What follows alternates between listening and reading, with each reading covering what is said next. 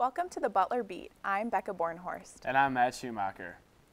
Housing at Butler is an issue that will continue to be a problem if class sizes keep increasing. Ashley Davis explains.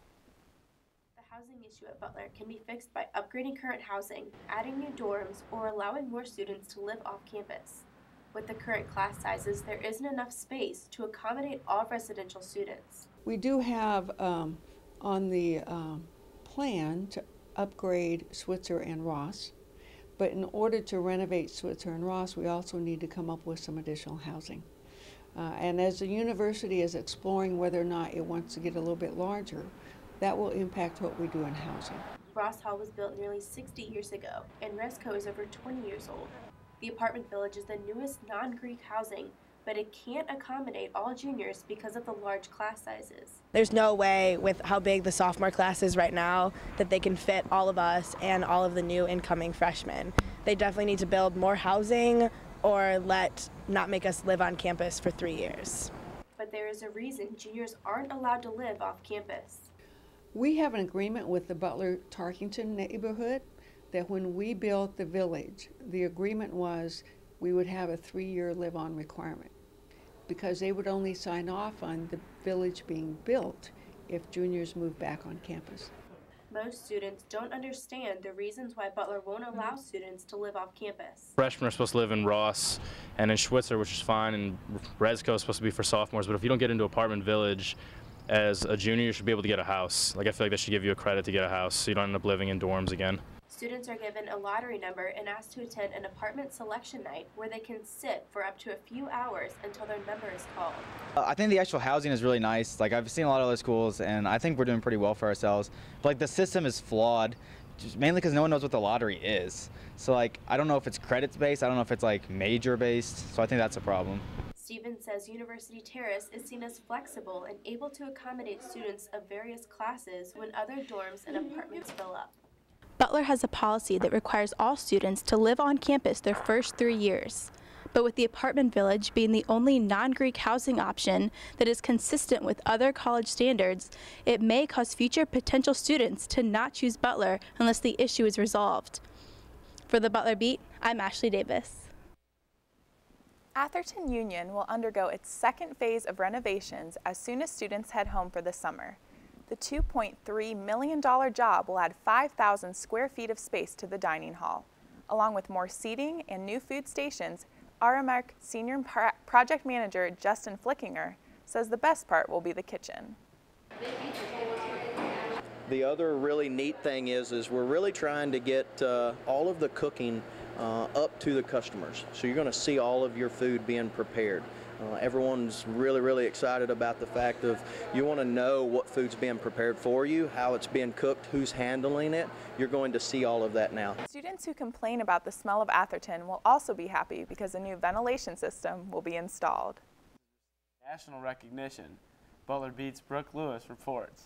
The Butler University College of Business is on the rise. The school recently secured the 48th position in Bloomberg Business Week's nationwide standings for undergraduate business programs. The school is up 15 spots from two years ago and only looks to move up from here. Not, Dean um, Chuck Williams tells us why this is so important for the college. Their parents use ratings as, a, as a, a, way to screen um, colleges.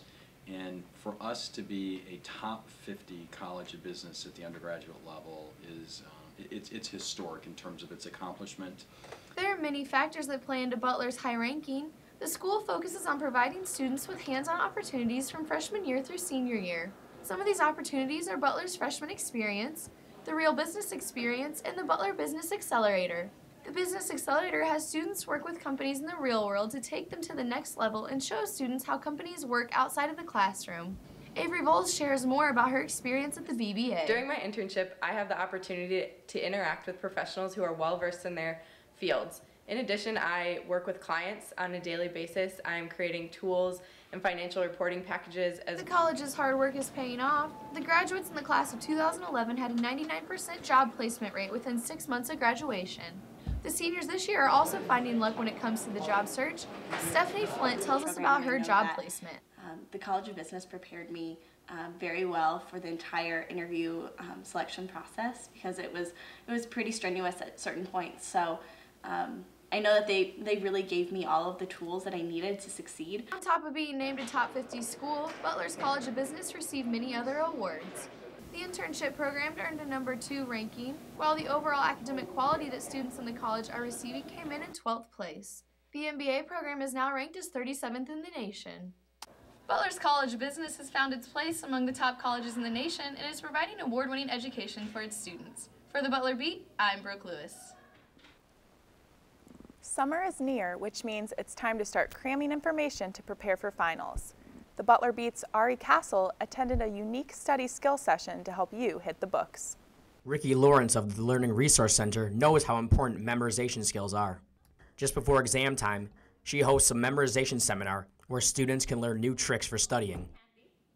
Nearly two dozen students attended, and by the end, nearly all of them had a new understanding of memory and a personal goal for studying. I'm going to try relaxing. I tend to stress out really bad when I study. The goal of the seminar was not just to play memory games and learn new tips, but to teach students how to develop their own skills to studying. Felt good about the participation. I really feel like students were able to take some strategies with them and um, and I have a sense that there will be uh, some that will go and actually apply some of the strategies that they've learned today. One of these strategies is how people absorb information. For example, you only absorb 10% of the information you read, 20% of the information you hear, and 30% of the information that you can see. Having memorization skills are important. What's even more important is how they translate from in here to back there. You don't need to study by yourself in Irwin Library for these upcoming exams, as Miss Lawrence advocates. Goal for me always is letting students know that there is a support system that that is a powerful assistance for students in college. Miss Lawrence plans to do one more memory seminar before exams begin. For the Butler Beat, I'm Ari Castle. Indianapolis is having an early spring and Butler Campus Farms is in full swing. Reporter Mary Algier has the story. Go down some stairs and across a bridge.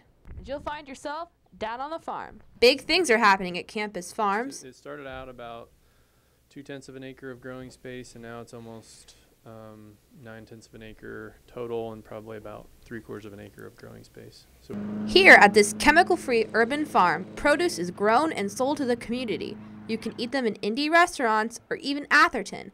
Campus Farms is also starting a new CSA program. We run a CSA, which stands for Community Supported Agriculture, and it's essentially like a subscription plan for vegetables um, and fruits that people pay at the beginning of the season, um, and then each week they pick up their vegetables at the farm. The farm's plants and bees should soon get a new neighbor. Chickens might be making their way to Campus Farms. Internally, we've approved the use, you know, using getting chickens for down there. They just need to find a sponsor. So if anybody out there has fifteen hundred dollars, um, that you can be the sponsor of the Butler uh, chicken coop. Along with green spinach and tomatoes, Dorsey says he plans to put in flowers to encourage bees and other insects. Plants a whole lot of flowering plants around the farm this year. A lot of native perennials that flower uh, from early spring to um, late fall and even winter. Campus Farms is looking for a summer intern, and volunteers are always welcome. Contact the Center for Urban Ecology for details. For the Butler Beat, I'm Mary Algier. Coming off a 2-1 victory in their first spring game in Oakland last weekend, men's soccer turns its attention to in-state rival IU, a team that they, all, that they know all too well from last fall. I attended practice to provide a preview for the upcoming game. As they prepare for IU this week, the Dogs are putting a large emphasis on defending around the net, which has been an ongoing point of concern for the squad.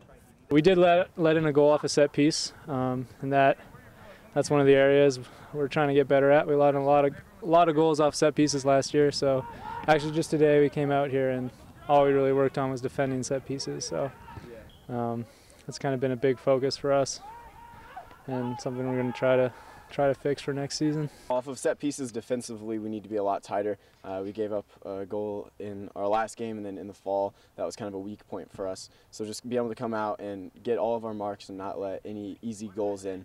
Freshman Zach Steinberg says that while everyone recognizes IU as a perennial soccer powerhouse, the Dogs know what they have to do and believe they can hang with the Hoosiers.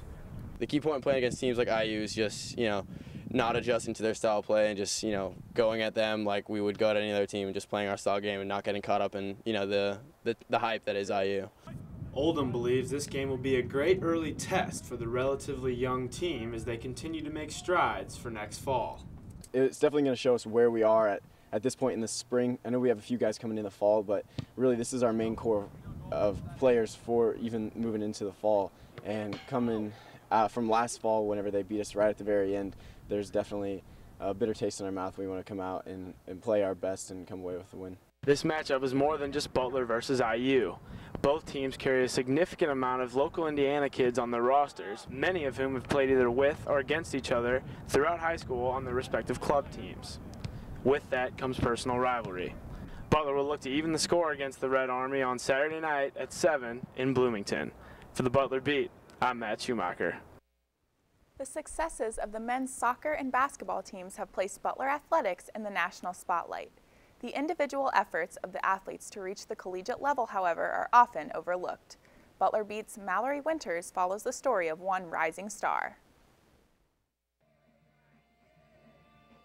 For most college athletes, the journey to achieve that dream starts when they are only children.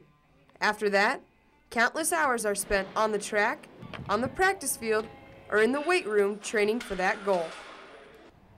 For Cassie Rupel, though, the path to collegiate athletics started after she was already a student at Butler. Cassie walked on the softball team in January, jumping right into the thick of preparation for the season. Cassie explains how she became a Bulldog. I emailed Coach Hall. I was basically asking if I could be a redshirt this year, try and walk out in the fall, and basically get some practice in for the summer and for next year. And just with the timing of people leaving and people coming and that, uh, I ended up on the team. So what do you know? Joining the team in practice, Cassie missed all of the off-season work and preparation. She did not realize how needed she would be. Assistant softball coach Megan Slack explains just how important Cassie is. Uh, a great presence, um, athletic ability. Um, her bat has brought a lot to the team, especially when we were struggling there for a while. She really picked us up. Um, outfield-wise, I think her speed is great. Um, and she knows how to judge a ball, and I think that her personality it just fits really well with the team. The lack of practice was not a problem, and Cassie has been a solid contributor for the Bulldogs, batting over 300, playing outfield, and taking some innings on the mound. She even managed to crack the starting lineup. Freshman outfielder Sarah Granowski says that Cassie has brought a welcome presence to the outfield. I think she's brought a great arm. She's got um, great skills out there, and it's so nice to have just another team member out there, you know, cheering each other on and stuff like that. From planning a redshirt season to a starting spot for the Bulldogs, this semester has been a whirlwind for Cassie. Whatever the rest of the season brings, you can believe she and the Bulldogs will be ready for anything. For the Butler Beat, I'm Mallory Winters. This Saturday, the Butler men's tennis team will recognize the career of two of its players on Senior Day. Lance Rinker caught up with the seniors to talk about leadership, friendship, and memories. Seniors Zach Irvin and Stephen McLaughlin have spent the past four years representing Butler University on the tennis court. With just three matches remaining this season, their collegiate playing days are nearing an end. Both players say they have learned more than a few lessons along the way. I think over the years I've just kind of I've kind of learned to take the ups with the downs. Um, just kind of kind of learning how to get better, overcome obstacles, things like that. It has been a growing season for the Bulldogs. Six of the team's nine players are freshmen. Not only is it the youngest team head coach Jason Susha has ever coached, but for the first time in my tenure here, so 15 years, we have a freshman playing one in Austin. While playing number one singles this season, freshman Austin Woldmo has impressed. So much so that he was named Horizon League Men's Tennis Player of the Week in March. Uh, I definitely think the seniors uh, taught us a lot, you know, with their experience. You know, they've had three years longer than us, and I know certainly I go to them for all the questions that I have, and they even have a nickname for me. They call me 20Q, 20 questions, because I just can't stop asking them questions, trying to get my feel for, you know, being a freshman on this tennis team. Woldmo, Irvin, McLaughlin, and the rest of the Bulldogs spend countless hours traveling together on vans like the ones behind me. The seniors say those are some of the things they'll miss most. Most fond memories will probably just be the times I spent hanging out with the guys, um, road trips, you know, the van rides especially are usually pretty fun. I mean, it's a cramped van in there, and you get to you get to bond real well. So definitely the van rides and the and the matches. Do you have any stories uh, from those road trips or anything that stand out? I don't know if I could put any of those on camera. okay. so while Irvin and McLaughlin's collegiate careers draw to a close, the two have left a solid foundation for Butler men's tennis to grow upon. They've uh, left us with uh, some good traditions to carry throughout the team team for the next couple years, and you know we're, we're on a path right now that's going to lead to success, hopefully next year and the years after. For the Butler Beat, I'm Lance Rinker. That's all for the Butler Beat. I'm Matt Schumacher. And I'm Becca Bornhorst.